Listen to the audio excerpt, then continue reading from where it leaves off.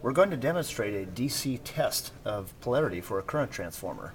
We have an illustration here drawn of a uh, current transformer, a window style transformer. We've got a wire passed past the center of it, and we have an analog meter connected to the output terminals um, of the transformer. And here I've labeled the transformer as it appears in real life. The front face of the transformer is labeled H1, and then we have two terminals for the output, the secondary side, X1 and X2. So following polarity convention, H1 and X1 go together.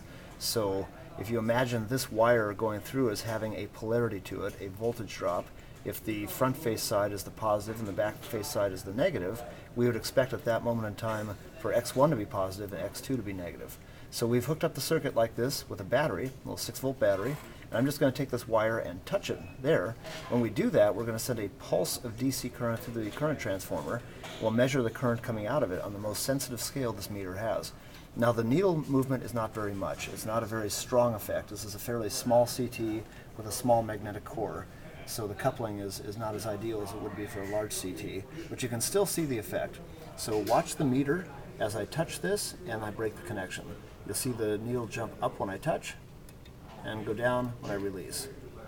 Up, down, up, down. So that tells me when I touch this and send current to the CT, the upward jump of the needle tells me the polarity is what I expect. X1 is positive and X2 is negative. When I release the connection, you see the needle jump down because now the magnetic field in the CT is collapsing. And when that happens, the polarity reverses on the coil. And so you don't really pay attention as much to what happens when I release a connection as much as when you make the connection. So once again, make the connection, we see an up jump, and that tells me I've got the polarity I expect. If I had something incorrect in the CT, let's say somewhere in my wiring between here and there, I had a reversal, then I'd see the opposite. Whenever I connected to the battery, you'd see a down jump. Now I can simulate that by switching my wire connections here. I can actually do it backwards intentionally to show you what a wrong polarity would look like. So now watch the needle as I make the connection.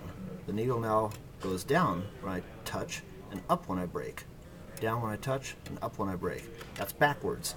That's telling me, uh, looking at the diagram anyway, when I send a pulse of current to the CT, it would be suggesting that X1 would be negative at that moment in time instead of positive as it should be when I make the connection. And that would suggest either I have a CT that's improperly labeled, or more likely I've got a wiring error between the CT and where I'm doing the test. But this is an essential test to do for protective relaying and electrical metering systems to make sure the polarity is proper on the CTs. Otherwise, you may find yourself in a situation with improper polarity where the measurement or the protective relaying does not work as it should. In this particular case, all we are doing is measuring the amount of current going through there and tripping an overcurrent relay. So for our particular application in this lab, the polarity is not critically important.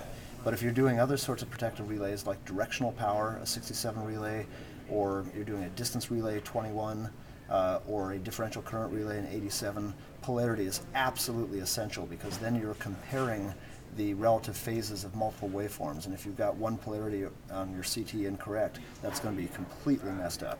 So polarity is a very important check to do. So even on systems like this, where we're just doing overcurrent, it's a good practice to verify polarity of your CTs and make sure all the wiring is exactly the way it should be.